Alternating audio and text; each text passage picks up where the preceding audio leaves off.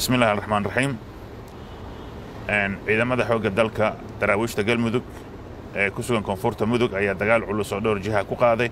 Dhulka hawdka ee deegaanka shabeellow iyo godad ay ku dhuumaalaysanayeen khawaariijta halkaas oo khasaare xoog leh lagu gaarsiiyey cadowga. In ka badan boqol meydadkooda ayay khawaariijtu ka qaadeen goobta dagaalka iyagoo ku daadgureeyey ilaa iyo saddex gaari.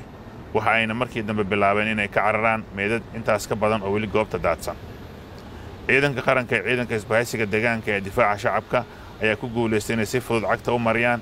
Fariisimihii ay ku sugnaayeen khawaariijta oo ahaa dhul howd ah oo ay qorshaysteen inay muddo dheer ku sii noolaadaan. Hub iyo saanad kale ayaa sidoo kale halkaasi looga burburiyey cadowga.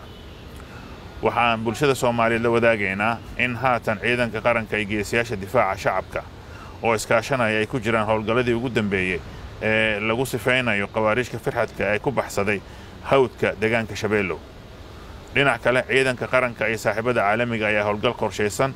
Waxa ay ka wadaan dhulka hawdka ah ee degmada mahadaay ee gobolka shabeellaha dhexe ee dowlad goboleedka hirshabeelle halkaas oo in ka badan toban maalmood ay ku go'doonsan yihiin maleeshiyaad iyo horjoogayaal ka tirsan khawaariijta.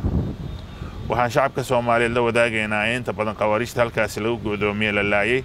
Sidoo kalena ciidanka qaran ku guulaystay in muddadii khawaariijtu ay go'doonsanayd aysan helin wax saad ah ama gurmada iyo sidoo kale inay meesha ka baxaan ama meesha ay ka baxsadaan goobo badanna laga qabsaday dadka soomaaliyeed waxay indhahooda ku arki karaan jabka iyo xasuuqa khawaariijtu ku gaaray howlgalladan markay ciidanka qaranka iyo geesiyaasha dadka deegaanka gudaha u galaan dhulkan hawdka ah oo hadda ay dhinac kasta ka joogaan labada bilood ee la soo dhaafay jabka khawaariijta waxauu ahaa mid iska soo dabadhacayay marka loo eego dagaaladii xoogga lahaa ee ka socday galmudug iyo hirshabeelle halkaasoo ciidamada xoogga dalka soomaaliyeed oo kaashanaya shacabka deegaanka iyo weliba saaxiibada caalamiga ah ay guulo waaweyn ka soo hoyeen. Dagaalka lagu ciribtarayo khawaariijta oo labadii bil ugu dambeeyey si qorshaysan oo hakad lahayn uga socday dowlad goboleedyada galmudug iyo hirshabeelle waxa uu saamayn xoog leh ku yeeshay argagixisadii ay ku dhuumaalaysan jirtay deegaanadaasi dagaallo toos ay howlgallo gaar oo khawaariijta jab xoogle lagu gaarsiiyey ayay dowladdu samaysay labadii bil ee la soo dhaafay. Ilaa iyo sagaal iyo toban horjooge ayaana lagu qaarijiyey dagaalada ka socda dowlad goboleedyada hirshabeelle iyo galmudug taas oo guul weyn u ah dagaalka ay dowladda ku jirto. Calaamadna u noqonaysa in maalmaha u harsan khawaariijtu ay aad u kooban yihiin. Horjoogayaashaasi labaiyo toban ka mida waxaa lagu dilay howlgallada hirshabeelle ka socda halka toddoba ka mida lagu dilay galmudug sidoo kale waxaa dhaawac culus la gaarsiiyey horjooge khaliif gaambe oo ahaa horjoogihii ugu sarreeyay jabhadaha khawaariijta ee galmudug. Saddex horjooga muhiim u ahaa khawaariijta ayaa inta howlgalladu socdeen isku soo dhiibay ciidanka dowladda iyo geesiyaasha deegaanka. Dowladda soomaaliya ayaa sidoo kale ka war haysa in toddoba horjooge oo shan ka mid ay ku dhumaalaysanayaan hirshabeelle halka labada kalena ku jiraan hawdka galmudug ciidamada qalabka sidana ay ku daba joogaan.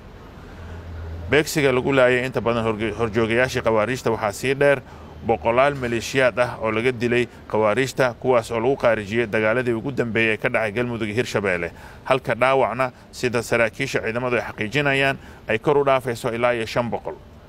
Howlgalkii ugu dambeeyey oo isku kaashadeen ciidamada qaranka iyo saaxiibada caalamiga ah oo sidoo kale lagu dilay horjoogihii khawaariijta u qaabilsanaa dabagalka ee gobolka shabeellaha hoose. Laba maleeshiya la socotay xubin kale oo ay u adeegsan jireen soo ururinta lacagaha baadda ah ayaa iyana ah in mid aan maanta doonayn aan la wadaagno shacabka. Horjoogahaasi oo lagu magacaabi jiray faaraxyare iyo xubnaha kale wehelinaya ayaa howlgalka lagu beegsaday xilli ay marayeen tuulada redabley oo u dhexaysa deegaanada mubaarak iyo unguji ee gobolka shabeellaha hoose.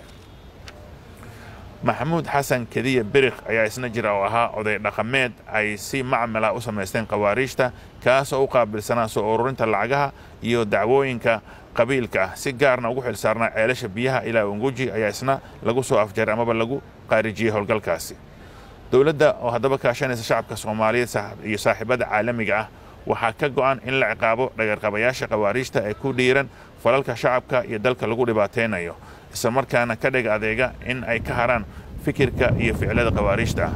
Ciidamada qalabka sida iyo dowladda soomaaliyeed waxaa sidoo kale ka go'an iyagoo dagaalkan ku jira inay ilaaliyaan xeerarka dhaqanka iyo weliba diinta islaamka sida ay farayso marka goobaha dagaalka la joogo. Waad mahadsantihiin adeegga mareeg ee swib akount ee bangiga salaam waa adeeg hal akoonoo guud kugu xidhaya akoonno kala duwan. Waxa uuna kuu suurtagelinayaa lacagta akoomada hoose ku dhacday inay si toosa ugu wareegto akoonka guud adigoo aan wareejin markii ay gaarto xadkii ama xilligii aad u dooratay